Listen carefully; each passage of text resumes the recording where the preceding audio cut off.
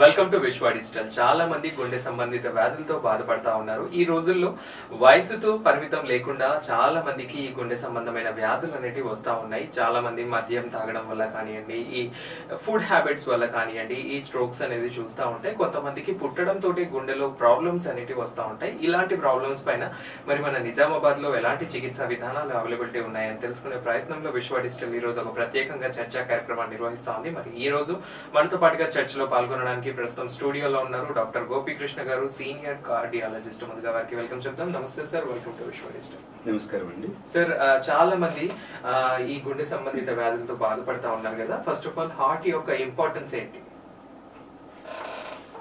Heart అనేది బాడీలో మొత్తం ఓవరాల్ మానవ శరీరంలో అతి ముఖ్యమైన అవయవం అండి. ఎందుకంటే ఏ ఆర్గాన్ అయినా కొద్దిసేపు రెస్ట్ తీసుకున్నా నడిచిపోతుంది. కానీ హార్ట్ విషయంలో అలా కాదు. హార్ట్ ఒకసారి రెస్ట్ తీసుకుందంటే ఇట్స్ ఈక్వల్ టు డెత్. అంటే చనిపోయినట్టు లెక్క. హార్ట్ అనేది రెస్ట్ తీసుకోవడం అనేది ఉండదు. మనం బతుకున్నంతసేపు హార్ట్ కొట్టుకుంటూనే ఉంటుంది. హార్ట్కి రెస్ట్ ఉండదు. ఎందుకు హార్ట్కి రెస్ట్ ఉండదు? చూడండి ప్రతిరోజు మనము ఏదో ఒక పని చేస్తూ ఉంటాం. పనిలో నిమగ్నం అవుతుంటాం మనం లేచున్నప్పుడు రాత్రిపూట నిద్రపోతూ ఉంటాం. మరి అన్ని అవయవాలు పనిచేస్తున్నప్పుడు వాటికి నిత్యం శక్తి కావాలి ఎనర్జీ కావాలి. ఎనర్జీ అనేది మనం తీసుకున్న ఫుడ్ నుంచి ఆ ఫుడ్కి డైజెస్ట్ అవ్వాలి. డైజెస్ట్ అవ్వాలంటే ఆ డైజెస్టివ్ ఎంజైమ్స్ ఎక్కడో ప్రొడ్యూస్ అవుతాయి డైజెస్ట్ ఫుడ్ ఫుడ్ని కరిగించే ఎంజైమ్స్ ఎక్కడో ప్రొడ్యూస్ అవుతాయి. ప్యాంక్రియాలో ప్రొడ్యూస్ అవుతాయి లివర్లో ప్రొడ్యూస్ అవుతాయి. మరి ఈ ఎంజైమ్స్ని ఈ ప్లేస్ నుంచి డైజెస్టివ్ సిస్టమ్ పేగుల్లోకి తీసుకెళ్ళాలి అంటే అక్కడ ఒక చోటు నుంచి ఇంకో చోటుకి రక్త ప్రవాహం అనేది కంటిన్యూస్ అవసరం. సో ఎంజైమ్స్ ఒక దగ్గర నుంచి ఇంకో దగ్గర తీసుకెళ్ళాలంటే బ్లడ్ అనేది పంప్ అవుతూనే ఉండాలి. సో దీనికి హార్ట్ యొక్క పంపింగ్ కంటిన్యూస్గా అవసరం. సరే ఇక్కడ మనం తీసుకునే ఫుడ్ డైజెస్ట్ అయింది అరిగింది. అరిగిన తర్వాత పేగుల్లో నుంచి అబ్జర్వ్ అయ్యి లివర్కి తీసుకెళ్ళాలి. లివర్కి అక్కడి నుంచి లివర్కి తీసుకెళ్ళాలి అంటే ఏం అవసరం? మళ్ళీ రక్త ప్రసరణ అవసరం. రక్త ప్రసరణ అవసరం అంటే కంటిన్యూస్గా రక్తాన్ని ఒక చోటు నుంచి ఇంకో చోటికి మూవ్ చేయాలి. కదిలించాలి అంటే హార్ట్ అనేది కదులుతూనే ఉండాలి. సరే అదైపోయింది. ఈ తీసుకున్న ఫుడ్ ఎనర్జీగా అంటే మామూలుగా గ్లూకోజ్ ఇట్లా ఫ్యాట్స్ అనేది ట్రైగ్లిజరేట్స్ ప్రోటీన్స్ అనేసి అమైన్ యాసిడ్స్ లాగా డైజెస్ట్ అయిపోయి కరిగిన తర్వాత లివర్కి వెళ్ళిన తర్వాత లివర్ నుంచి వేరే పదార్థాలుగా మనకి బాడీకి అవసరమైన పదార్థాలుగా తయారయ్యి కన్వర్ట్ అయ్యి లేకపోతే దాని నుంచి ఒక్కొక్కసారి ఈ బయోమెక మెకానిజమ్స్ జరిగిన తర్వాత అంటే ఈ అంత డీటాక్సిఫైయింగ్ మెకానిజమ్స్ జరిగిన తర్వాత ఈ విష పదార్థాలు ఏదైతే తయారయ్యాయో ఈ విష పదార్థాలని మళ్ళీ కిడ్నీస్ తీసుకెళ్ళో లేకపోతే మళ్ళీ పేగులలోకి తీసుకెళ్ళి బయటకు పంపించే ప్రక్రియ ఏదైతే ఉంటుందో ఈ ప్రక్రియ కూడా జరగాలంటే ఏం జరగాలి? బ్లడ్ అనేది కంటిన్యూస్గా మూవ్ అవుతూనే ఉండాలి. సో యూష్ పదార్థాలు బ్లడ్లో కలిస్తే బ్లడ్లోంచి మళ్ళీ సర్క్యులేషన్లోకి వస్తే సర్క్యులేషన్లోంచి రక్తనాళాల్లోంచి మళ్ళీ వెళ్ళి కిడ్నీస్కి బ్లడ్ వెళ్ళి కిడ్నీస్ నుంచి ఫిల్టర్ అవుతూ ఉంటుంది. ఈ ఫిల్టర్ ప్రాసెస్లో విష పదార్థాలన్నీ బయటకు పోతూ ఉంటాయి. సో ఈ ప్రాసెస్ కావాల్సింది కూడా హార్ట్ అనేది కంటిన్యూస్గా మూవ్ అవడమే కావాలి. అంతేకాకుండా బాడీలో ఎన్నో పదార్థాలు ఇట్లా కంటిన్యూస్గా అంటే హార్మోన్స్ బ్రెయిన్లో కొన్ని హార్మోన్స్ సెక్రెట్ అవుతాయి. ఈ హార్మోన్స్ ఒక దగ్గర నుంచి ఇంకో దగ్గర పోయి యాక్ట్ చేస్తాయి.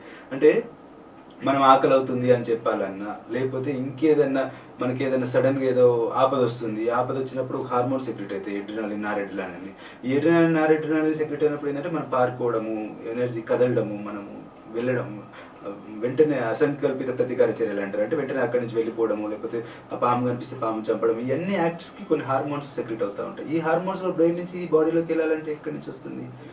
బ్లడ్ సర్క్యులేషన్ నుంచి వెళ్తూ ఉంటాయి అన్నట్టు.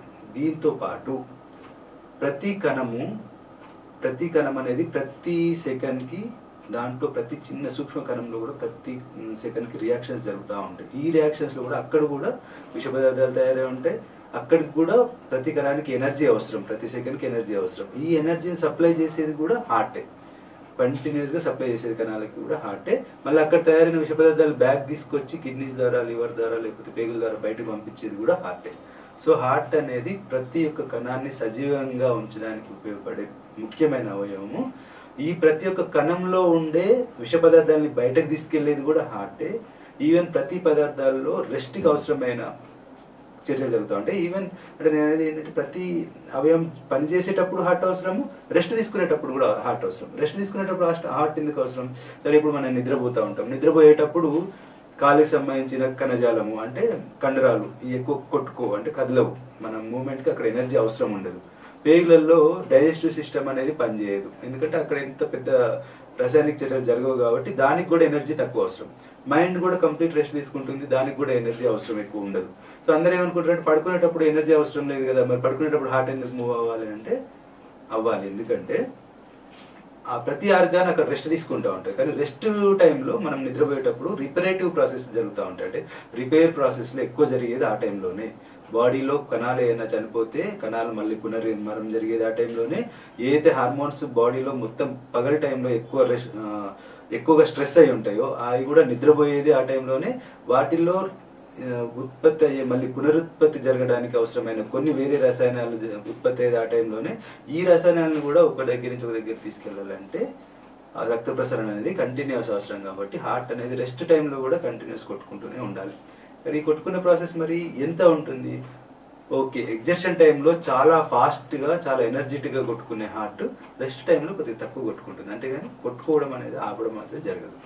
ఓకే సార్ మొత్తానికి చెడు రక్తాన్ని మంచి రక్తాన్ని వేరు వేరు అనేది హార్ట్ ద్వారా పంపింగ్ సార్ అదే విధంగా చాలా మంది ఈ రోజుల్లో ఫుడ్ హ్యాబిట్స్లో భాగంగా కొలెస్ట్రాల్ మయమైపోయారు. ప్రతి ఒక్కరు అంటే డిఫరెంట్ డిఫరెంట్ ఆయిల్స్ వాడడం వల్ల కానివ్వండి డిఫరెంట్ డిఫరెంట్ ఫుడ్ హ్యాబిట్స్తో ప్రతి ఒక్కరికి కొలెస్ట్రాల్తో బాధపడతా ఉన్నారు కదా. మరి ఈ కొలెస్ట్రాల్ వల్ల కూడా హార్ట్ అటాక్స్ వచ్చే ఛాన్సెస్ ఉన్నాయంటారా?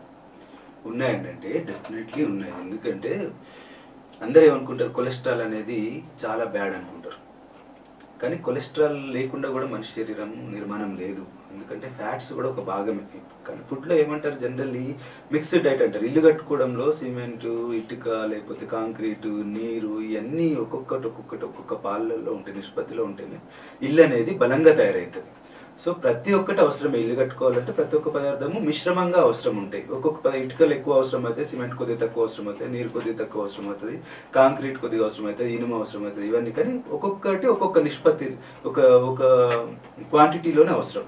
అట్లా కట్టుకున్నప్పుడు బలంగా ఉంటుంది. సేమ్ అదే మానవ నిర్మాణంలో కార్బోహైడ్రేట్స్ పిండి పదార్థాలు. అంటే పిండి పదార్థాలు ఏ రూపంలో వస్తాయి? ఎక్కువ రైస్ వీట్ అంటే జొన్న మొక్కజొన్న లేకపోతే సజ్జలు ఇట్లాంటివన్నీ పిండి పదార్థాలు అంటారు. ఈ పిండి పదార్థాల శాతం అరవై నుంచి డెబ్బై శాతం ఉండాలి. నెక్స్ట్ది ప్రోటీన్స్ అంటారు. ప్రోటీన్ అంటే మాంసకృతులు. మాంసకృతులు ఏ రూపంలో ఉంటాయి? మాంసకృతులు అంటే మాంసం నుంచి వస్తాయని కాదు.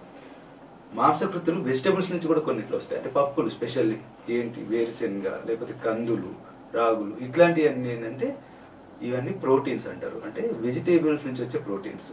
లేదా మాంసం నుంచి వచ్చే ప్రోటీన్స్ ఏముంటాయి? ఫిష్ చికెన్ మటన్ లేకపోతే ఎగ్ ఇవన్నీ మాంసంలో నుంచి వచ్చే ప్రోటీన్స్. సో ఈ ప్రోటీన్స్ కూడా ట్వంటీ నుంచి ట్వంటీ ఫైవ్ పర్సెంట్ కంటిన్యూస్గా బాడీ నిర్మాణంలో పాల్పంచుకుంటాయి. ఎందుకంటే వీటి నుంచి అమెనాసిడ్స్ ప్రొడ్యూస్ అవుతాయి. అమెనాసిడ్స్ మళ్ళీ మన బాడీలో ఉండే కండరాలకి కణాలకి సప్లై చేసే ప్రోటీన్స్కి ఎక్కువ ఉపయోగపడతాయి. నిర్మాణంలో ఎక్కువ ఉపయోగపడతాయి. నెక్స్ట్ సబ్స్టెన్స్ ఏంటి? ఫ్యాట్స్.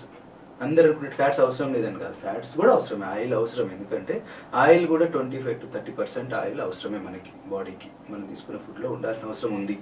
ఎందుకు అంటే ఈ ఆయిల్స్ అనేది మెయిన్లీ కొవ్వులు అనేది డిఫరెంట్ టైప్స్ ఉంటాయి. Mono unsaturated fatty acids poly unsaturated fatty acids saturated fats అని ఇట్లా మూడు రకాలుగా ఉంటాయి అన్నట్టు ఈ మూడు రకాల ఫ్యాట్స్లో ఎందుకు ఉపయోగం? ఈ ఫ్యాట్స్ ఎందుకు ఉపయోగం? స్పెషల్లీ చూడండి ప్రతి కణం యొక్క త్వచం ప్రతి కణం అనేది ఒక ఒక సబ్స్టెన్స్. కణం అనేది సూక్ష్మమైన పదార్థం. మన బాడీలో ప్రతి పదార్థం కూడా కణాలతోనే నిర్మితం ఉంటుంది. స్కిన్ హెయిర్ లేకపోతే బోన్ ఏదైనా కానీ. కాకపోతే ఒక్కొక్క కణం ఒక్కొక్క యొక్క ఒక స్పెసిఫిక్ లక్షణం ఉంటుంది. బోన్ అనుకోండి బోన్ యొక్క కణం చుట్టూ కాల్షియం ఉండి గట్టి పదార్థం. బోన్ అనేది ఒక ఇటుక లాంటి సబ్స్టెన్సెస్ అన్నట్టు. బోన్ కణం అనేది. అట్లే మామూలుగా వేరే కణాలు ఉంటాయి. ఏ అంటే పొట్టలో ఫ్యాట్ కణాలు ఇట్లాంటి ఈ స్పాంజ్ లాంటి కణాలు. ఇవి వీటిలో యొక్క కణం యొక్క చుట్టూతో ఉండే పొర కణ త్వచం అంటారు కదా ఇది మెత్తగా ఉంటుంది. ఇది స్పాంజ్ లాంటి పదార్థం. ఒక్కొక్క కణానికి ఒక్కొక్క క్యారెక్టర్ ఉంటుంది. కానీ ప్రతి ఒక్క కణ త్వచం అంటే కణం యొక్క కవరింగ్ అనేది ఉంటుంది కదా కణం చుట్టూ ఉండే పదార్థము. కణంలో ఉండే పదార్థాలన్నింటినీ బయటకు పోకుండా లీక్ చేయకుండా ఉండాలంటే కణం యొక్క చుట్టూ పొర ఉంటుంది. ఈ పొర మెయిన్లీ మెయింటైన్ మీద కొలెస్ట్రాల్తోనే నిర్మాణమై ఉంటుంది. కొలెస్ట్రాల్తో కూడా అమైనో యాసిడ్స్ అవి కూడా అవసరం అవుతాయి కానీ కొలెస్ట్రాల్ యొక్క నిర్మాణం అవసరం చాలా. దాంతో పాటు హార్మోన్స్ స్పెషల్లీ హార్మోన్స్ అంటారు. Specially sex related hormones estrogen progesterone ఇట్లాంటివన్నీ మెయిన్లీ స్టెరాయిడ్ హార్మోన్స్ ఇవన్నీ ఫ్యాట్స్ నుంచే ప్రొడ్యూస్ అవుతూ ఉంటాయి. సో ఫ్యాట్స్ అవసరం లేదని ఎవరు చెప్పారు? ఫ్యాట్స్ కంపల్సరీ అవసరం కానీ ఎంత అవసరము అంటే అడిక్వేట్గా అవసరం. మిశ్రమంగా ఇంత ఇంటి కట్ట ఇల్లు కట్టేటప్పుడు అన్నిటికీ ఇంపార్టెన్స్ ఎట్లుంటుందో దీని యొక్క ఇంపార్టెన్స్ కూడా అంతే. సో ఇది ఖచ్చితంగా అవసరం. కానీ చాలా మంది ఏమంటారు సార్ కొలెస్ట్రాల్ రిపోర్ట్ తీసుకొని వస్తారు మా దగ్గరికి. సార్ కొలెస్ట్రాల్ ఎక్కువ ఉంది సార్ అని భయపడుకుంటూ వస్తారు. అదేదో హార్ట్ అటాక్ వచ్చిన టైప్లోనే వచ్చేస్తారు. కానీ కొలెస్ట్రాల్ చూసినంత మాత్రాన భయపడాలని కాదు. అంటే అర్థం ఏంటంటే మీకు అవసరానికంటే ఎక్కువ కొలెస్ట్రాల్ కొద్దిగా సర్క్యులేట్ అవుతుంది బాడీలో జాగ్రత్తగా ఉండండి అని అర్థం. దీని సింపుల్ ఎగ్జాంపుల్గా ఉదాహరణగా చెప్పాలంటే మీరు ఇప్పుడు ఒక ఇల్లు కట్టుకున్నారు. ఆ ఇల్లు దుమ్మున్న ఏరియాలో ఒక ఇల్లు ఉంటుంది దుమ్ము లేని ఏరియాలో ఒక ఇల్లు ఉంటుంది. అంటే దాని అర్థం ఏంది? దుమ్మున్న ఏరియాలో ఇల్లు అనేది తొందరగా పాడైపోయిద్ది. అంటే దుమ్ము లేని ఏరియా ఏరియాలో ఉండే ఇల్లు పది సంవత్సరాల తర్వాత మొత్తము దాని యొక్క రంగు పోతే కలర్ పోతే దుమ్మున్న ఏరియాలో ఇల్లు కట్టుకుంటే రెండు మూడు సంవత్సరాలకే రంగు మారిపోయిద్ది అని అర్థం. అంటే చెడిపోతుంది తొందరగా. అంతే అంతేగాని ఒక దుమ్ముంది అనగానే దాన్ని ఏదో భయపడిపోయి ఏదో చేయడము దాని మీద దాని యొక్క సంక్షోభం సమయం ఇది అన్నట్లు ఆలోచించాల్సిన అవసరం లేదు. దుమ్ముంది అంటే ఏం చేయాలి? ఓకే దుమ్ములేని ఏరియాలో ఇల్లు కట్టుకున్న వాళ్ళు కొద్దిగా మెయింటెనెన్స్ తక్కువ చేసుకుంటారు. అప్పుడప్పుడు క్లీన్ చేసుకునే సరిపోయింది. కానీ దుమ్ముని ఏరియాలో ఉన్న వాళ్ళు రోజు మంచి క్లీన్ చేసుకోవాలి రెగ్యులర్గా నీట్గా ఉంచుకోవాలి. అట్లాంటప్పుడు మంచి మెయింటైన్ చేసుకుంటే మీది కూడా పది సంవత్సరాల కంటే ఇంకా ఎక్కువనే రావచ్చు వాళ్ళే దానికంటే. సో ఈ మెయింటెనెన్స్ అనేది ఇంపార్టెంట్ అంతేగాని కొలెస్ట్రాల్ ఉండగానే హార్ట్ అటాక్ అనేది భయపడుకొని ఏదో రావాల్సిన అవసరం లేదు.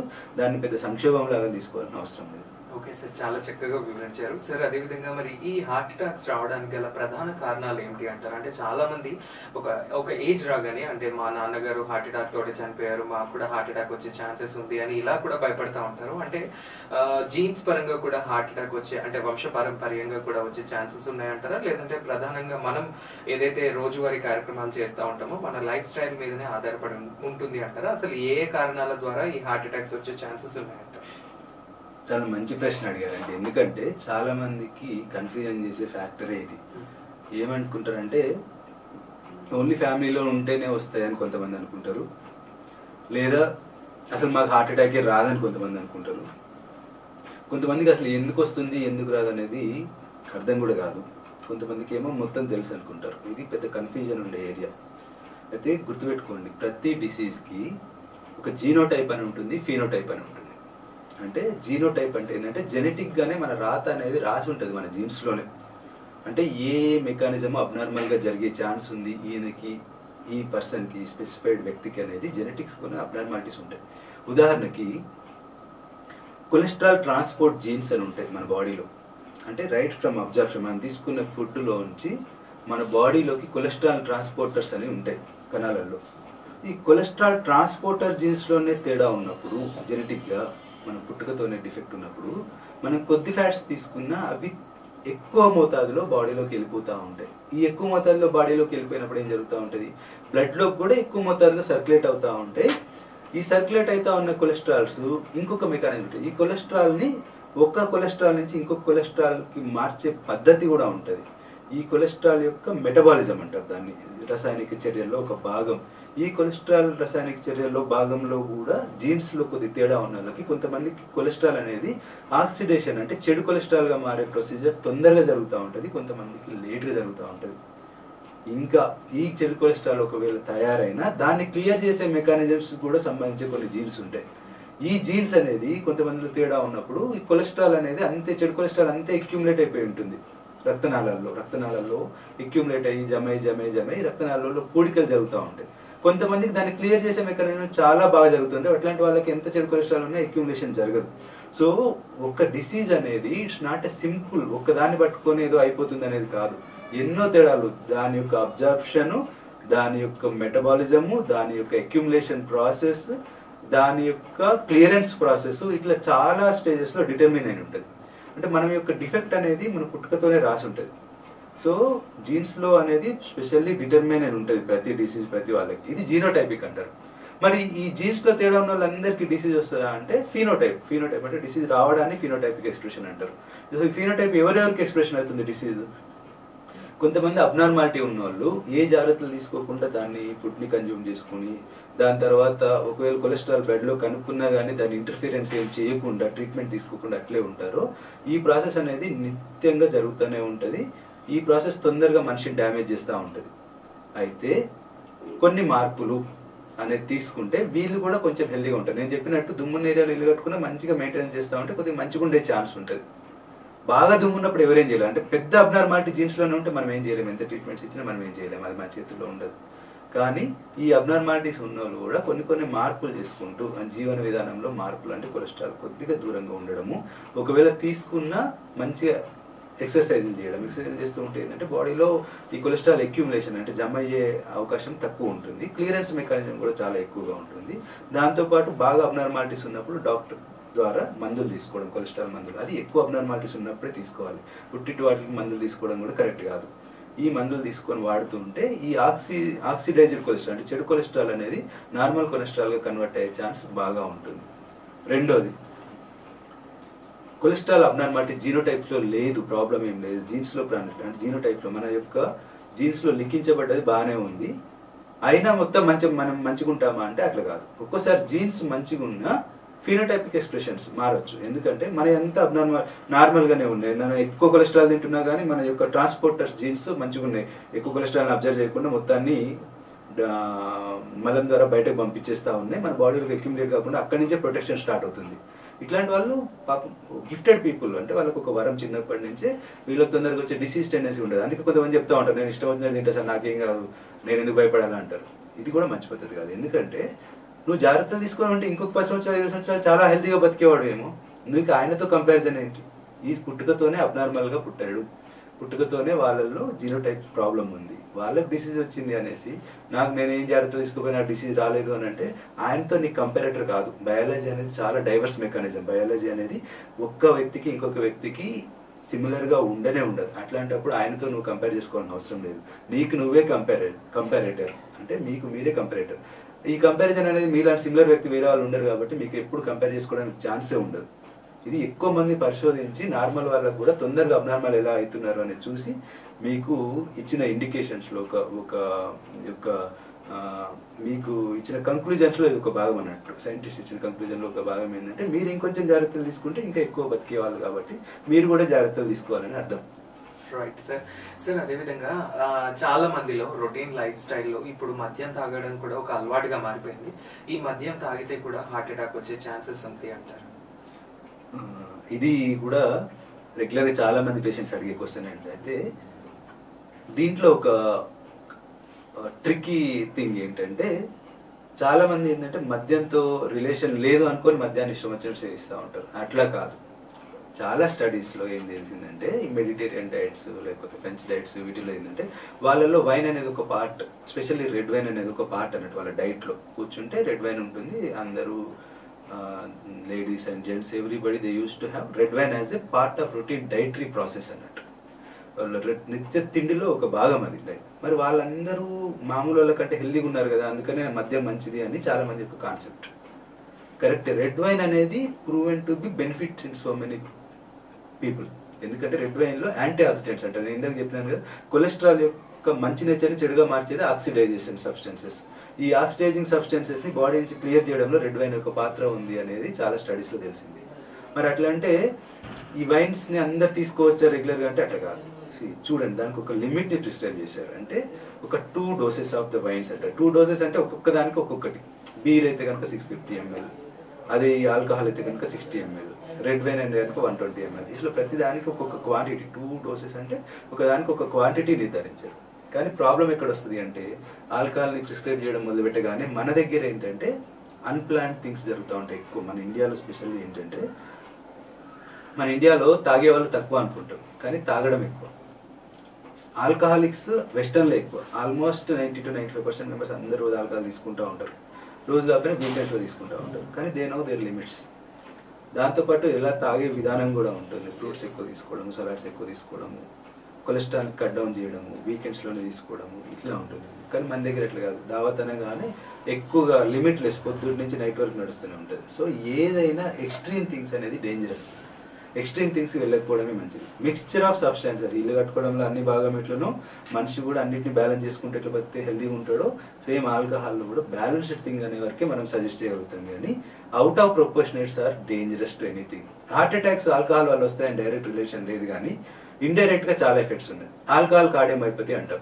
చాలా డోస్ ఆఫ్ ఆల్కహాల్ తీసుకునే వాళ్ళకి రెగ్యులర్గా తీసుకునే వాళ్ళకి ఏమవుతుందంటే ఆల్కహాల్ అనేది వేస్ట్ఫుల్ ఎనర్జీ దాంట్లో క్యాలరీస్ ఉంటాయి ఎనర్జీ ఉంటుంది కాబట్టి ఇది మన బాడీకి హార్మ్ఫుల్ ఇది ఎట్లా అంటే సింపుల్ ఎగ్జాంపుల్ చెప్పాలంటే ఇల్లు సిమెంట్ అనేది బలమైన పదార్థం అని ఓన్లీ సిమెంట్తో ఇల్లు కట్టుకుంటారు ఎవరైనా. దాంతో కట్టుకుంటే ఏమవుతుంది నెరలు ఇచ్చేసి పగులు వచ్చేసి కూలిపోతుంది. సేమ్ ఆల్కహాల్లో ఎనర్జీ ఉంటుంది కరెక్టే కానీ వేస్ట్ఫుల్ ఎనర్జీ దాంట్లో విటమిన్స్ ఉండవు. టైమిన్ విటమిన్స్ లేకపోతే విటమిన్ బి అనేది మొత్తం డెఫిషియెంట్స్ ఉంటుంది. ఎనర్జీ ఉంటుంది కానీ ఎనర్జీ అనేది బిల్డింగ్ బ్లాక్స్ లాగా పనిచేయవు బాడీలో కణాలకి. సో ఇదేం చేస్తుంది? ఇట్లా వేస్ట్ఫుల్ ఎనర్జీస్ పోయి బాడీలో ప్రతి కణాన్ని టాక్సిక్ నేచర్ని చూపిస్తాయి. ఈ టాక్సిక్ నేచర్ వల్ల ప్రతి కణము దెబ్బతింటూ ఉంటుంది. ఆల్కహాలిక్ హెపటైటిస్ అంటారు. లివర్ ఇంజురీ అవుతుంది. ఆల్కహాలిక్ కార్డియం అయిపోతాయి అంటాం. చాలా రోజుల నుంచి ఎక్కువ ఆల్కహాల్ తీసుకున్న వాళ్ళు కాడియం అయిపోతుంది ప్రతి ఆల్- గుండె యొక్క కణము పనిచేయడం అనేది శక్తి సామర్థ్యం తగ్గి ఫోర్స్ఫుల్గా బలంగా కొట్టుకోవాల్సిన హార్ట్ ఏంటంటే ఇట్లా మెల్లగా కొద్దిగా కొట్టుకుంటా ఉంటుంది వీక్ అయిపోతూ ఉంటుంది. ఈ వీక్ హార్ట్తో కూడా పర్సన్ బతకడా అంటే బతుకుతూ ఉంటాడు. కానీ ఎప్పుడైతే పర్సన్కి ఎక్స్ట్రా నీడ్స్ అవసరం ఉంటాయో స్పెషల్లీ జ్వరం వచ్చినప్పుడు సర్క్యులేషన్ ప్రతి కణము ఎక్కువ ఎనర్జీ కావాలి ఎక్కువ తొందరగా సప్లై చేసి సప్లై చేయాలని అడుగుతూ ఉంటుంది హార్ట్ని లేకపోతే వేరే ఇన్ఫెక్షన్స్ వచ్చినా లేకపోతే యాక్సిడెంట్ జరిగినా లేకపోతే ఏదైనా సర్జరీ టైంలో ఇట్లాంటి టైమ్స్లో ఏంటంటే హార్ట్ మీద ఎక్స్ట్రా డిమాండ్స్ ఉంటాయి. నాకు ఎక్కువ ఎనర్జీ అవసరం అవుతుంది. ఇక్కడ బాగా డ్యామేజ్ జరుగుతుంది కణాలలో ఇన్ఫెక్షన్ ఎక్కువ ఉంది. దీన్ని క్లియర్ చేయాలంటే మా ఫైటింగ్ మెకానిజం ఇమ్యూన్ యాంటీబాడీస్ తొందరగా మా కణాలకు పంపించండి. సో తొందర తొందరగా సప్లై చేయండి అని ఒకటి. ఇక్కడ విష పదార్థాలు బాగా జమ అవుతున్నాయి. దీన్ని క్లియర్ చేయండి అని ప్రతి కణము హార్ట్కి సిగ్నల్స్ పంపిస్తూ ఉంటుంది. ఈ సిగ్నల్స్ పంపించే భాగంలో హార్ట్ అనేది బాగా స్ట్రెస్గా లోన్ అవుతూ ఉంటుంది. నార్మల్ హార్ట్ అనేది హెల్ప్ చేస్తుంది వీళ్ళకి. ఈ యొక్క మెకానిజం డిఫెన్స్ మెకానిజమ్స్లో భాగంలో. కానీ ఆల్రెడీ వీక్ ఉన్న హార్ట్ ఏమవుతుందంటే అక్కడ నేను ఇంకా పనిచేయలేను బాబు ఎక్స్ట్రా అనేసి ఫెయిల్యూర్కి వెళ్ళిపోయి బాగా దమ్ వచ్చేసి హాస్పిటల్ అడ్మిషన్ అవుతారు. సడన్ డెత్స్ కూడా అయ్యే అవకాశం ఉంటుంది. దీన్ని ఆల్కహాల్ కార్డ్ ఏమైపోతాయి అంటాం ఫెయిల్యూర్కి వెళ్ళే ఛాన్స్ బాగా ఉంటుంది. ఇంకొకటి కేఫే కొరనరీ అంటారు. కేఫే కొరనరీ అంటే ఏంటంటే ఇది ఒక foreign term. Cafe a coronary అంటే ఏంటంటే బాగా ఆల్కహాల్ తీసుకున్నవాడు బాగా అంటే వీకెండ్స్లో వెస్టర్న్లో ఏం చేస్తారంటే చాలా మంది పోయి నైట్ మొత్తం ఆల్కహాల్ తీసుకుంటూ ఉంటారు. కేఫ్స్లో సో ఏమైతే బాగా ఆల్కహాల్ తీసుకునే వాళ్ళు ఒక్కటేసారి ఏటల్ ఫిబ్రిలేషన్ హార్ట్లో రిధమ్ కరెంట్ కూడా ఎఫెక్ట్ అవుతుంది. ఒక్కటేసారి హార్ట్ నార్మల్ డెబ్బై ఎనిమిది సార్లు కొట్టుకోవాలి మూడు వందల నాలుగు వందల సార్లు కొట్టుకుంటుంది. మూడు వందల నాలుగు సార్లు కొట్టుకుంటే మనం ఇంకా మంచిదే కదా అనుకుంటారు చాలా మంది ఇంకా ఎక్కువ బ్లడ్ సప్లై అవుతుంది కదా అట్లా కాదు. ఎప్పుడైనా హార్ట్ వేగము ఒక స్టేజ్కి మించి వెళ్తుంది. ఏదైనా చెప్పాను కదా పరిమితికి మించినది ఏది కరెక్ట్ కాదు. ఒక్కసారి హార్ట్ వేగం అనేది టూ హండ్రెడ్ అట్లా కంటే వేగంగా పెరుగుతూ ఉంది అనుకోండి హార్ట్ యొక్క ఫిల్లింగ్కే టైం ఉండదు. అంటే హార్ట్ నిండడానికి ఇప్పుడు హార్ట్ స్పీడ్ కొట్టుకున్నప్పుడు ఏంది? ఒక రకంగా కొట్టుకుంటుంది అంటే అది నిండుతుంది ఫస్ట్ నిండిన తర్వాత పంప్ అవుతుంది కానీ స్పీడ్గా పోతా ఉన్న ఏమవుతా ఉంటే చూడండి నిండడానికే టైం ఉండదు. సో పంపించడానికి అక్కడ బ్లడ్ ఎక్కడ ఉంటుంది హార్ట్లో? సో ఎంటీ ఛాంబర్ లాగా కాంట్రాక్ట్ అవుతూ ఉంటుంది. అప్పుడు ఏమవుతుంది? ఎంటీ చాంబర్ కాంట్రాక్ట్ అవుతున్నప్పుడు బ్లడ్ అనేది ఫిల్లింగ్ లేనప్పుడు పంపింగ్ కూడా ఉండదు. పంపింగ్ జీరో అయితే సర్క్యులేషన్ అనేది ఒకటేసారి అయిపోతుంది డెత్ అయిపోతారు అన్నట్టు. సో ఇది కూడా కేఫే కర్నర్ అనేది ఆల్కహాల్ రిలేటెడ్ ప్రాబ్లం దీంతో పాటు హాలిడే హార్ట్ సిండ్రోమ్ అంటారు. హాలిడే హార్ట్ సిండ్రోమ్ అంటే ఇదే సేమ్ థింగ్ ఎక్కువ ఆల్కహాల్ తీసుకోవడము ఫుల్ ఆల్కహాల్ తీసుకున్నాక మామూలుగా సడన్లీ హార్ట్ అటాక్స్ వచ్చేసి చనిపోవడం అనేది. సో ఇన్ని ప్రాబ్లమ్స్ ఆల్కహాల్స్ ఉంటాయి. ఇది ఓన్లీ నేను చెప్పే హార్ట్ మీదే. దీని కాకుండా ఆల్కహాల్ అనేది సో మెనీ బ్యాడ్ ఎఫెక్ట్స్ కాబట్టి దీన్ని కట్ షాట్ చేయడం అవసరం ఉంది. ఏదైనా సోషల్ డ్రింకింగ్ కొద్దిగా అది అంటే యాక్సెప్టబుల్ కానీ ఎక్కువ పరిమితి మించడం అవుతుంది అనేది పర్మిటబుల్ కానే కాదు ఇది ఎంకరేజబుల్ థింగ్ కానే కాదు.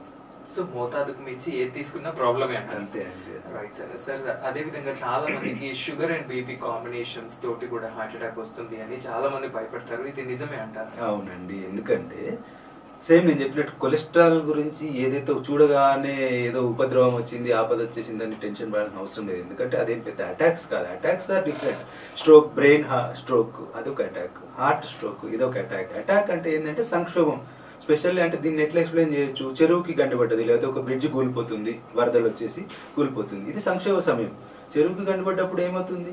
మీరు ఎంత వర్క్ చేసినా గండిపడే టైంలో ఎన్ని లారీల లోడ్లు తీసుకెళ్ళి రాళ్ళు పోసినా సిమెంట్లు పోసినా లేకపోతే ఇంకే సబ్స్టెన్సెస్ పోసినా ఎంతమంది జనాలు పోయి రియాక్ట్ అయినా ఎంత షార్ట్ టైంలో రియాక్ట్ అయినా దాన్ని బండిని పూడ్చడం అనేది చాలా చాలా చాలా కష్టం అన్నట్టు. అంటే ఎఫర్ట్ ఎక్కువ ఫైనాన్సెస్ ఎక్కువ నిధులు ఎక్కువ టైం చాలా తక్కువ ఉంటుంది. ప్రతి ఒక్కరు కష్టం ఎక్కువ పడాలి. చాలా మంది ఇన్వాల్వ్ కావాలి. కానీ రిజల్ట్ ఏముంటుంది? లాస్ట్కి రిజల్ట్ తక్కువ ఉంటుంది. సో ఇదే ప్రాసెస్. అటాక్ అనే ప్రాసెస్ అనేది మీనింగ్ అది. హార్ట్ అటాక్ అయినా బ్రెయిన్ స్ట్రోక్ అయినా ఇవన్నీ ఏంటంటే మన ఎఫర్ట్ ఎక్కువ ట్రీట్మెంట్ యొక్క ఖర్చు ఎక్కువ మన యొక్క పర్సన్స్ ఐసీయూ ఇన్వాల్వ్మెంట్. అంటే ఐసీయూ స్టాఫ్ కూడా ఇన్వాల్వ్ అవుతారు కాబట్టి ఐసీయూ పర్సన్స్ ఇన్వాల్వ్మెంట్ ఎక్కువ. అంతా అయినా రిజల్ట్ ఎట్లా ఉంటుంది? రిజల్ట్ తక్కువ ఉంటుంది. So attacks are different. Same అదే నేను అటాక్స్ అప్పుడు భయపడాను అంతేగాని కొలెస్ట్రాల్ రిజల్ట్ చూసో షుగర్ రిజల్ట్ చూసో భయపడని అవసరం లేదు. అంటే దాన్ని నేను అనేది భయపడొద్దు అంటే అసలు దాన్ని కేర్ చేయొద్దని కాదు. దాన్ని పట్టించుకోవాలి. దాన్ని ఎంత పట్టించుకోవాలంటే ఫ్యూచర్లో నాకు దీనివల్ల ప్రాబ్లం వచ్చే అవకాశం ఉంది కాబట్టి దీన్ని పట్టించుకోవాలనేది అఫ్ కోర్స్ షుగర్లో కూడా okay four hundred five hundred ఇవి లీడ్స్ టు డై డీకే అంటే డయాబెటిక్ కీటోసిడోసిస్ దానివల్ల కోమా ఇవి కూడా వస్తాయి కాబట్టి ఆ టైంలో మళ్ళీ భయపడాలి. వాటిల్లో ఉండే ప్రాబ్లమ్స్ వేరు. సో ఈ అనే ఏదైనా సంక్షోభ టైం టైం వేరు ఈ డిసీజ్ ఫైండింగ్ చేయడం వేరు. అంటే కొలెస్ట్రాల్ ఉంది నేను చెప్పినట్టు జాగ్రత్తలు తీసుకోండి. షుగర్ ఉంది దాన్ని బట్టి జాగ్రత్తలు తీసుకోండి. ఏమేమి జాగ్రత్తలు తీసుకోవాలో తెలుసుకోండి. మీరు అడిగినట్టు బీపీ మరి షుగర్ ఇవన్నీ సడన్గా మరి పెద్ద ప్రాబ్లమ్స్ అంటే ప్రాబ్లమ్స్ డెఫినెట్లీ ప్రాబ్లమ్స్ ఎందుకంటే ఇప్పుడు హార్ట్ అటాక్ రావాలి. హార్ట్ అటాక్ రావాలంటే ఎందుకు వస్తుంది? హార్ట్ అటాక్ అందరూ అనుకున్న హార్ట్ అటాక్ అనుకున్నట్టు వాళ్ళు మూసుకుపోతే హార్ట్ అటాక్ కాదు. వాల్స్ అనేది రాంగ్ టర్మ్. వాల్స్ అనేది వేరు. రెండు గుండెల మధ్యలో ఉండే కవాటాలను వాల్స్ అంటారు. కాబట్టి పాతకాలంలో అనేది వాల్స్ ఎక్కువ రెండు గుండెల గుండె రెండు గదుల మధ్యలో ఉండే తలుపులు కవాటాలు మూసుకుపోయాయి కాబట్టి పాతకాలంలో పాత రోజుల్లో రొమాటిక్ హార్ట్ డిసీజ్ అనేది ఎక్కువ ఉండేది. ఈ కవాటాలకు సంబంధించిన జబ్బు ఎక్కువ ఉండేది కాబట్టి ఇది మూసుకుపోయే జబ్బు ఉండేది అప్పట్లో. అప్పటి నుంచి వాల్స్ మూసుకుపోయిన అలవాటు అనేది ఇప్పుడు హార్ట్ అటాక్ వచ్చినప్పుడు కూడా వాల్స్ మూసుకుపోయిన వాల్స్ మూసుకుపోయినాయి అంటారు. ఇది వాల్స్ కాదు. యాక్చువల్ చెప్పాలంటే ఈ హార్ట్ సప్లై చేసే పైపులు మూసుకుపోతాయి. నేను చెప్పాను కదా ఇంతకు ముందు గుండె అనేది కంటిన్యూస్గా కొట్టుకునే ఆర్గాన్ కంటిన్యూస్గా ఎనర్జీ అవసరమైన ఆర్గాన్ అన్నిటికీ రక్త ప్రసారం ఇస్తుంది. మరి ఇంత హాస్ట్ ఫాస్ట్గా పనిచేసే హార్ట్ ఇంత కంటిన్యూస్గా పనిచేసే హార్ట్కి మరి బ్లడ్ సప్లై ఎక్కడి నుంచి వస్తుంది? దీనికి కూడా సరే హార్టే పంప్ చేస్తుంది. పంప్ చేసిన తర్వాత పెద్ద రక్తనాళం మీద పెద్ద రక్తనాళం నుంచి మళ్ళీ హార్ట్కి పైపులు వస్తాయి. రక్తనాళం హార్ట్కి సప్లై అవుతాయి. రక్తనాళాలనే పైపులు అంటాం. ఈ పైప్స్ అనేది హార్ట్కి సప్లై చేసే పైపులు సడన్గా బ్లాక్ అయిపోయినప్పుడు హార్ట్ అటాక్ వస్తుంది. సో ఈ బ్లాక్స్ ఎట్లా ఫామ్ అయితే ఈ బ్లాక్స్ అనేది రెండు రకాలుగా ఉంటుంది. స్పెషల్లీ స్మోకర్స్లో ఇంతకుముందు ఈ పైప్ అనేది మళ్ళీ చూడండి. ఈ పైప్ ఉంది. ఈ పైప్ అనేది ఇలా అడ్డంగా చూస్తే మనం మెల్లమెల్లగా క్లోజ్ అయ్యే ప్రాసెస్ ఒకటి. మెల్ల మెల్ల మెల్ల మెల్ల ఇక్కడ అంటే పాకురు జమ అయ్యేది. నీటి నీళ్ళ పైప్లో ఎక్కువ రోజులు వాడుతున్న పైపులో పాకురు ఎట్లా జమ అవుతుందో ఈ మన యొక్క హార్ట్కి సప్లై చేసే పైపులు లేకపోతే బ్రెయిన్ సప్లై చేసే పైపులో మెల్లగా పాకురు లాంటి పదార్థాలు అక్యుములేట్ అవుతా ఉంటాయి. స్పెషల్లీ కొలెస్ట్రాల్ జమ అవుతా ఉంటుంది కొలెస్ట్రాల్తో పాటు కొన్ని ప్రోటీన్స్ జమ అవుతా ఉంటాయి. దీంతో పాటు కొన్ని రకాల కెమికల్ రియాక్షన్స్ అక్కడ జరుగుతూ ఉంటాయి. సో మెల్లమెల్లగా మెల్లమెల్లగా మెల్లమెల్లగా మూసేసే ప్రాసెస్ జమ అవుతా ఉంటుంది.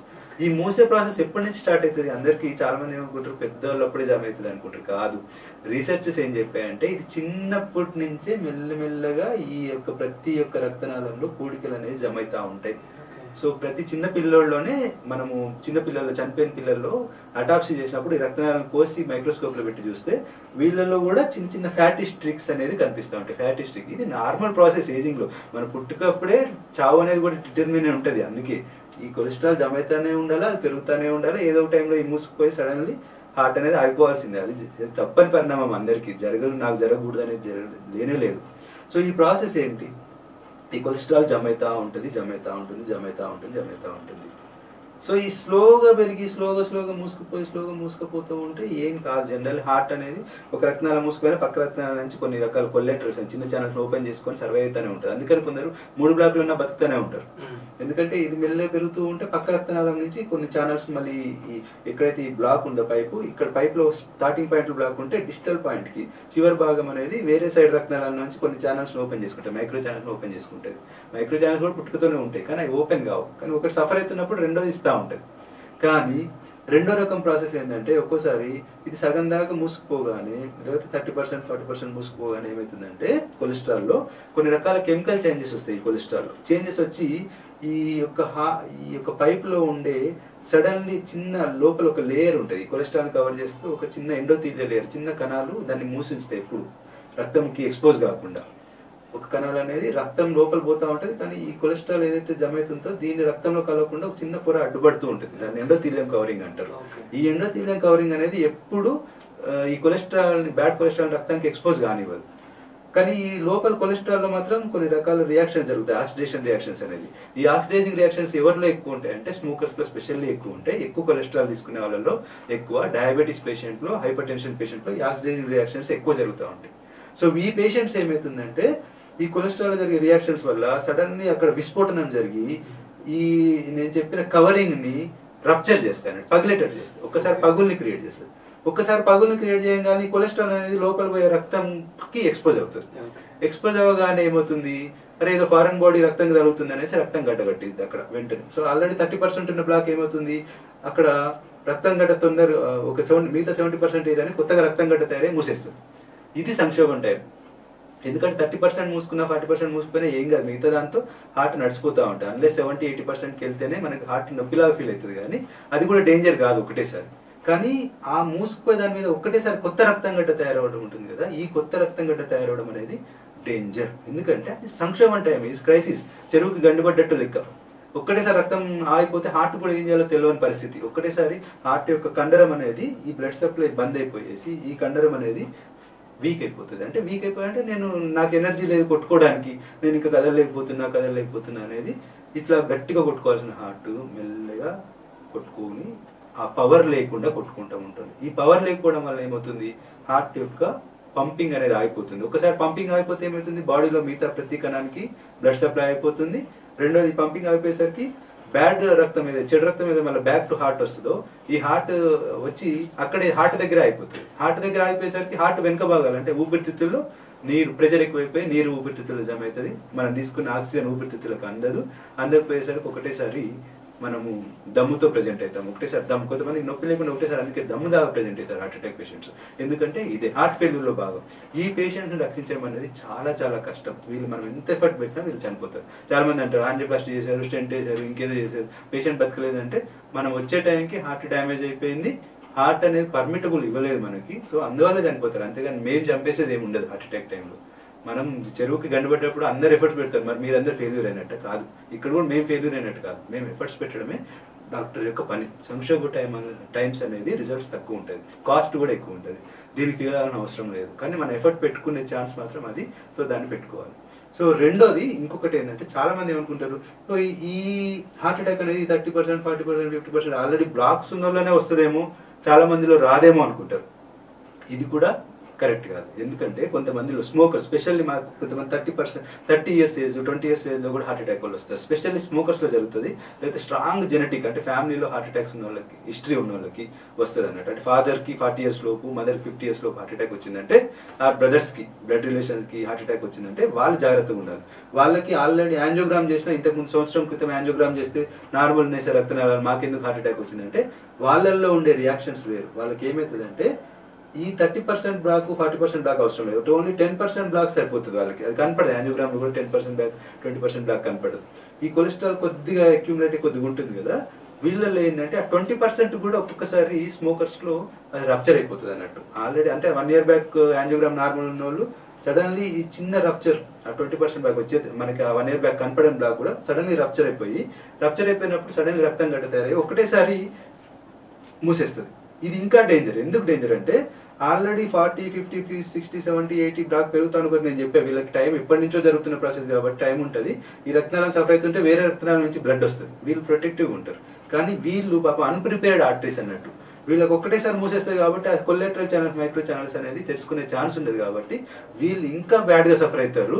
ఒక్కొక్కసారి వీళ్ళు వస్తే వెంటనే వస్తే ఓన్లీ రక్తం గడ్డనే ఉంటాయి కాబట్టి ఒకసారి చిన్న medicine two thousand rupees medicine ఇట్లాంటి మెడిసిన్ కూడా మంచి రెస్పాండ్ అయ్యే ఛాన్స్ ఉంది. కానీ రియాక్ట్ అయ్యే తీరులో మాత్రం రియాక్ట్ అయితే వెంటనే సర్వైవ్ అవుతారు లేకపోతే వెంటనే డెత్ అవుతారు.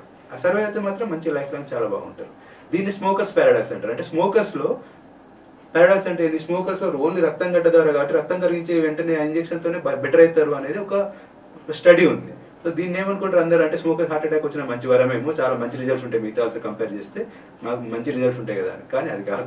స్మోకర్స్ పారాడాక్స్ అని ఎందుకన్నారంటే చూడటానికి మీకు మంచి రిజల్ట్స్ ఉంటే కనిపిస్తాయి. కానీ మీకు ఎక్కువ మంది హార్ట్ అటాక్స్ వస్తున్నాయి కదా. సో ఓవరాల్ మోర్టాలిటీ చనిపోయే అవకాశం మీకే ఎక్కువ ఉంది. సో ఈ స్మోకర్స్లో మంచిగా ఉంటుంది అనే కాన్సెప్ట్ అనేది తప్పు అనేది. రెండోది సింపుల్ ఎగ్జాంపుల్ ఒకటి చెప్తాను. ఈ రక్తంలో మరి కొలెస్ట్రాల్కి కవర్ చేసే కణత్వచం రప్చర్ కాగానే హార్ట్ అటాక్ వస్తుంది అంటారు కదా. ఇది ఎందుకు వస్తుందో చెప్తాను. ఇది కూడా ఎందుకు రావాలి అంటే ఈ కొలెస్ట్రాల్ అనేది రక్తం లోపల పోయే రక్తము వేరు కొలెస్ట్రాల్ రక్తం యొక్క ఒక పొర కింద ఉంటుంది. ఈ పొర రప్చర్ కాగానే హార్ట్ అటాక్ వస్తుంది.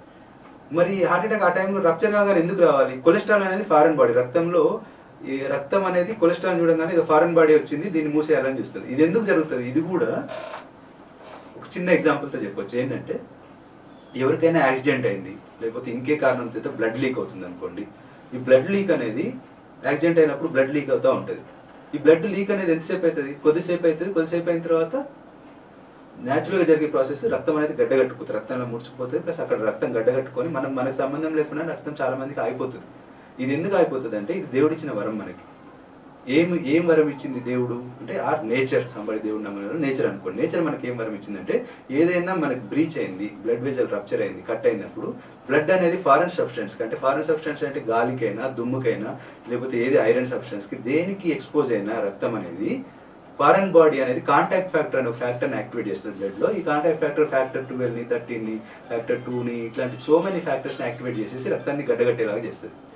ఈ కాంటాక్ట్ ఫ్యాక్టర్ అనేది అంటే ఎనీ ఫారెన్ బాడీకి బ్లడ్ కాంటాక్ట్ కాగానే కాంటాక్ట్ టచ్లోకి రాగానే క్లాట్ అయిపోవాలి అనేది మనం దేవుడిచ్చిన వరం. ఇది ఎందుకంటే మనం కంటిన్యూస్ బ్లీడింగ్ అయ్యి మొత్తం రక్తాన్ని బయటకు పోకుండా కాపాడే ప్రాసెస్ ఇది. కానీ ఈ సేమ్ వరం అనేది ఇక్కడ మనకి శాపం.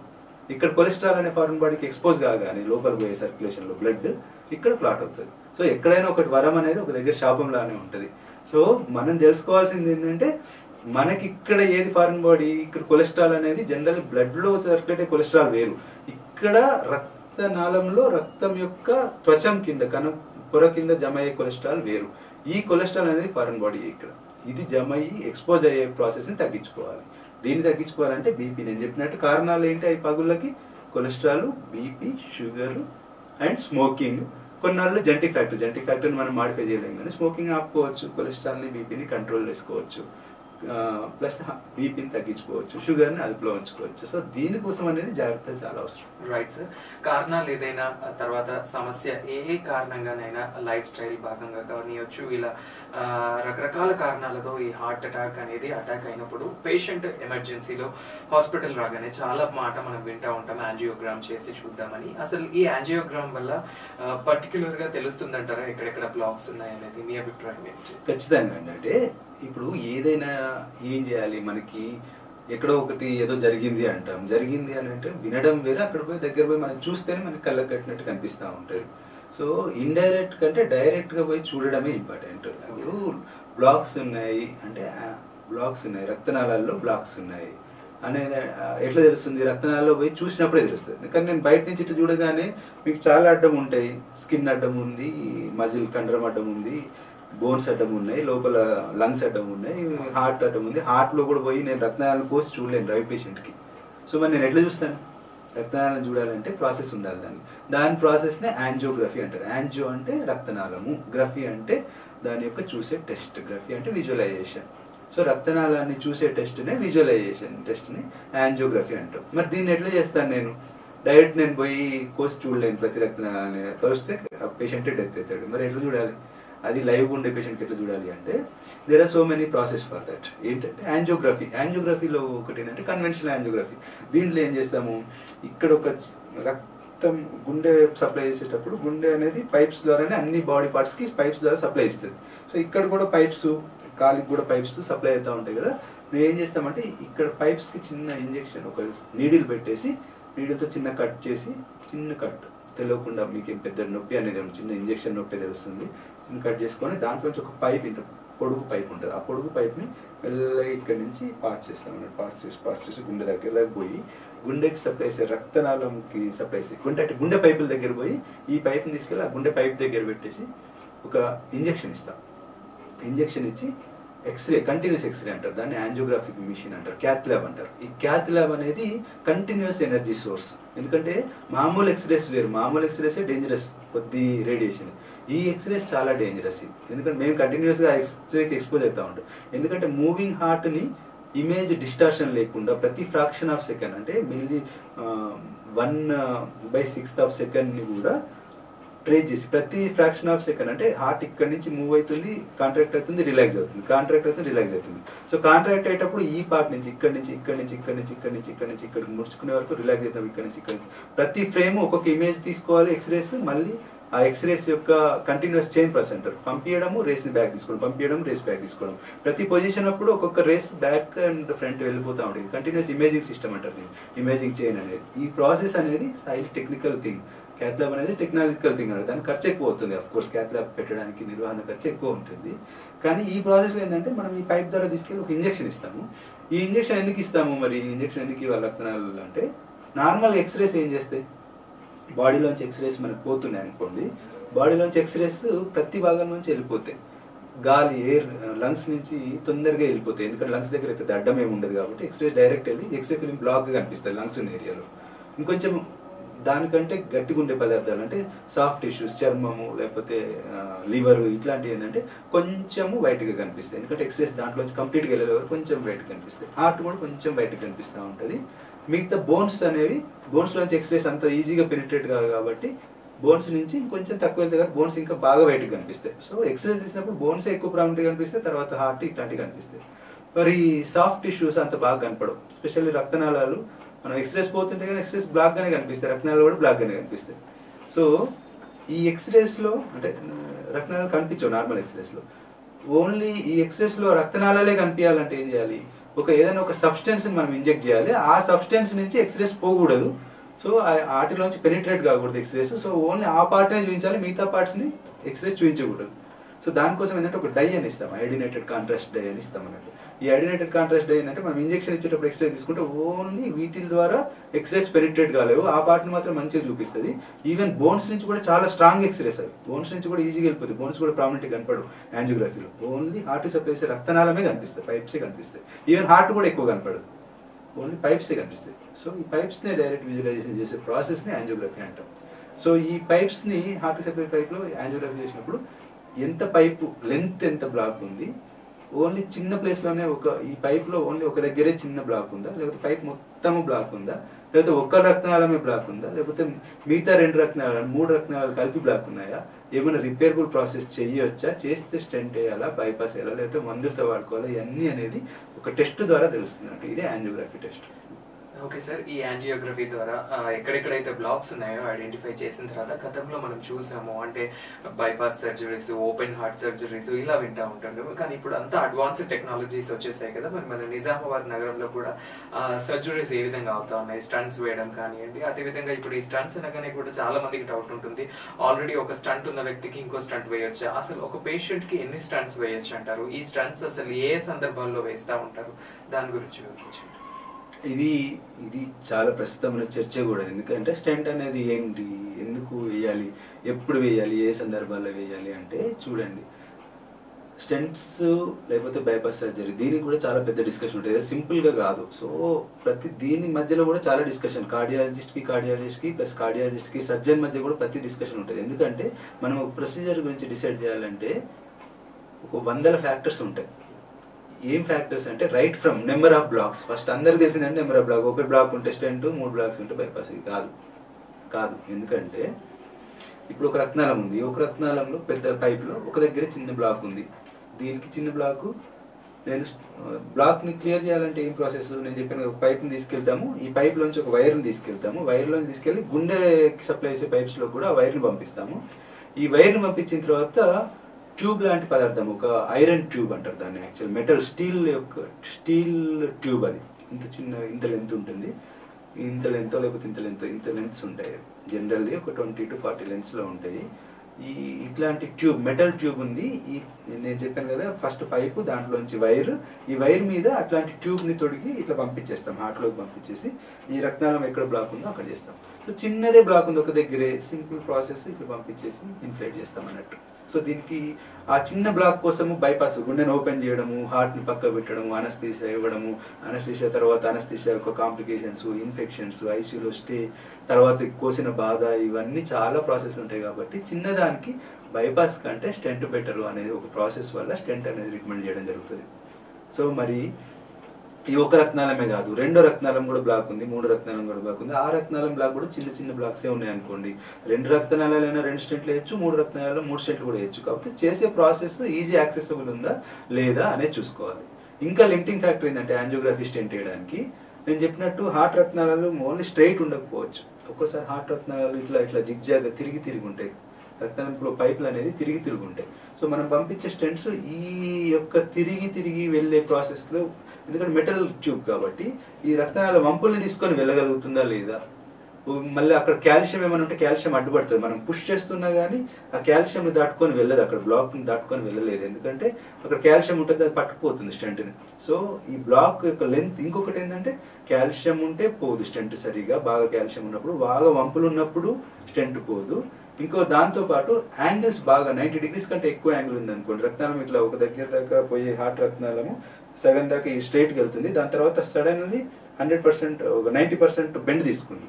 సో మనం తీసుకునే ఈ స్టెంట్ చిన్న సైజ్ అనుకోండి స్మాల్ సైజ్ అంటే ఇక్కడ దాకా పోయింది పోయిన తర్వాత మళ్ళీ ఇక్కడ బెండ్ అవ్వడం ఈజీ. కొద్దిగా కొంచెం వంపు తిరిగితే చాలు. చిన్న స్టెంట్ అయితే. అది పెద్ద స్టెంట్ ఇంత పెద్ద స్టెంట్ అనుకోండి.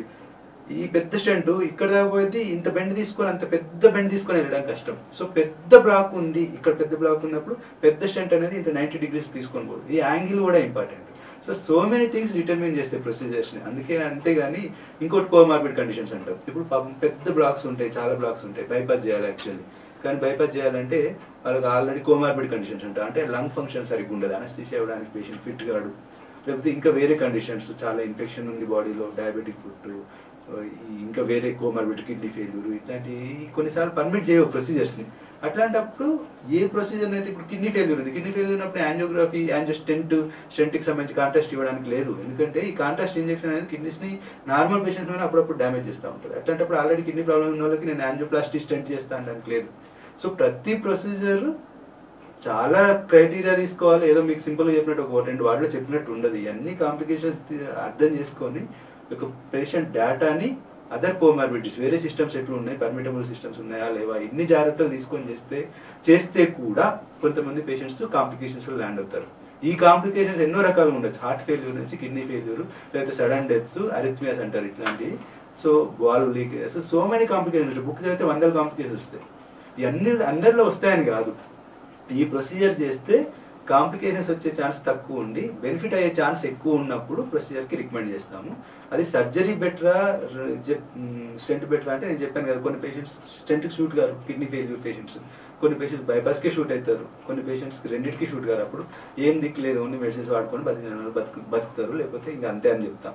So so many factors determine అయితే ఇవన్నీ అంత ఈజీ కాదు అనుకున్నట్టు ఏ విషయం కూడా ఎవరైనా ఒక రెండు మాటలు చెప్పారంటే అది అది అసలు దాంట్లో అర్థమే ఉండదు. ఎందుకు దానికోసం ఇంతెందుకు చదువుకోవాలి?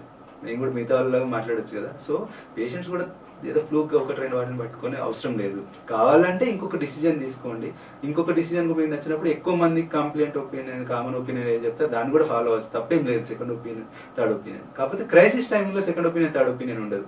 బతికినా చచ్చినా ట్రీట్మెంట్ ఆ టైంలో క్రైసిస్ టైంలో ఎక్కడ ఉంటారు a point of the time అంటే హార్ట్ అటాక్ టైంలో వాటిల్లో ఆ టైంలో అక్కడ చూసుకోవడమే బెటర్ ఎందుకంటే దట్ ఈస్ ఇంపార్టెంట్ టైం ఒకవేళ బతికే ఛాన్స్ ఏదన్నా ఉంది అని అంటే ఆ టైంలో ట్రీట్మెంట్ చేస్తేనే కొద్దిగా బతికే అవకాశం ఉంటుంది. కాబట్టి ఆ టైంలో డిసిజన్స్ ఛాన్స్ లేదు.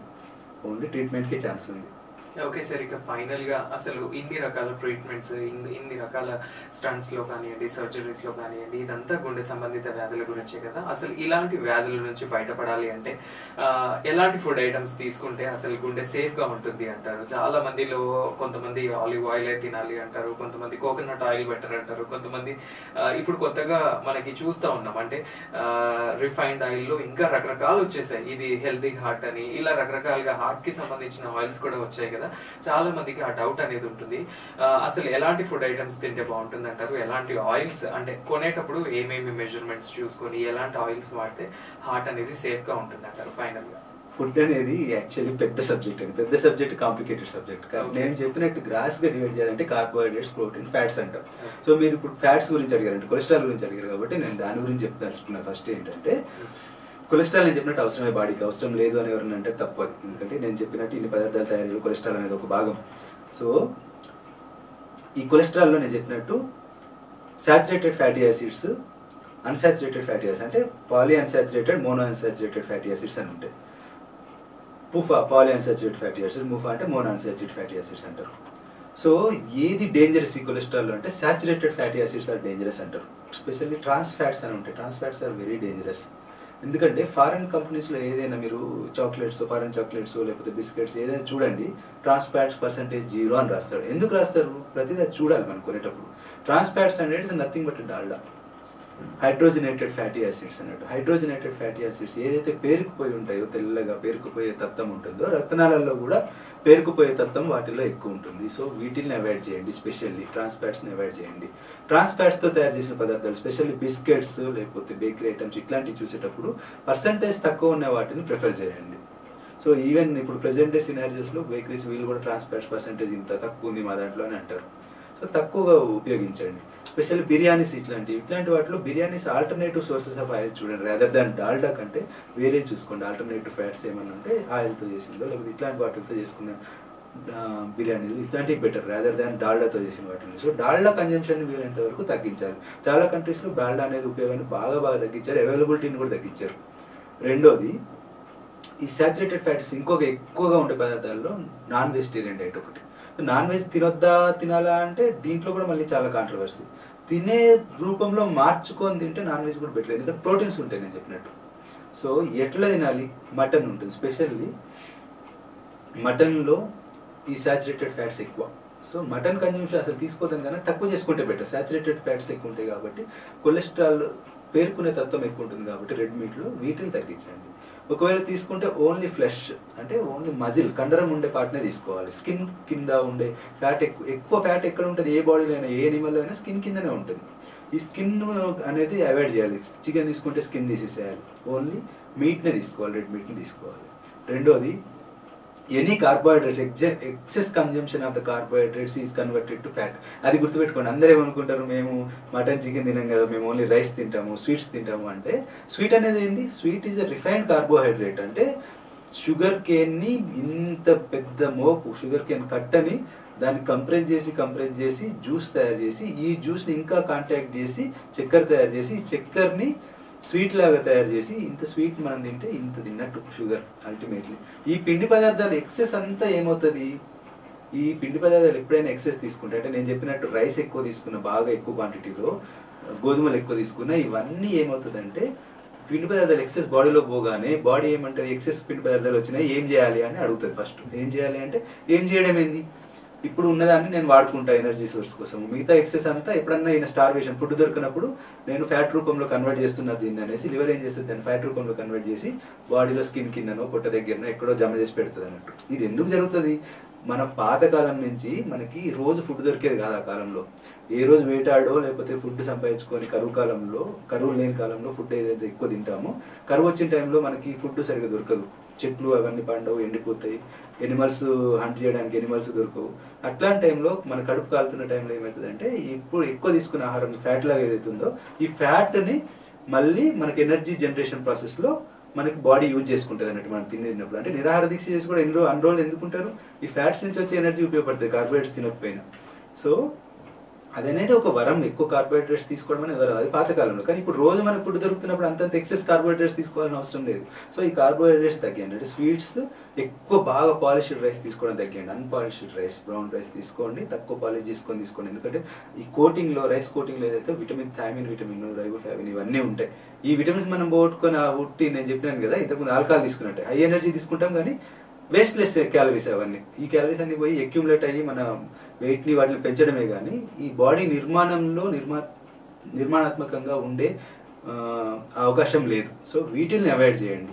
వీటితో పాటు కార్బొరేటెడ్ వాటర్స్ అంటారు అంటే స్పెషల్లీ కూల్ డ్రింక్స్ ఈ కూల్ డ్రింక్స్ కంటిన్యూస్గా ఏంది sugar waters they are sugar water ఈ షుగర్ అంతా converted into all excess calories are converted into fats only ఈ ఫ్యాట్స్ అనేది మనకి ఎప్పుడన్నా స్టార్వేషన్లో ఉంటే యూజ్ అవుతాయి కానీ మనం స్టార్వేషన్లో ఉండే అవకాశం లేదు. ప్రెసెంట్ ఫుడ్ అనేది అందరికి దొరుకుతుంది డైలీ అట్లాంటప్పుడు మనం ఎందుకు అక్యుములేట్ చేసుకొని పెట్టుకోవాలి? సో దానికోసం అనేసి అంత అవసరం లేదు కాబట్టి ఎక్సెస్గా బాగా లేదు. కొద్ది షోర్స్ ఉంటే ఏం ప్రాబ్లం లేదు. ఎప్పుడన్నా మన ఫ్యూచర్లో రాకూడదు ఆ టైం అని ఏం లేదు. మనకు కూడా అవసరం పడవచ్చు కానీ అంత ఎక్సెస్ క్యాలరీస్ అనేది బాడీకి మంచిది కాదు. సో దాన్ని కట్టెలు చేయండి. షుగర్ వాటర్స్ని వీటిని కట్టెలు చేయండి.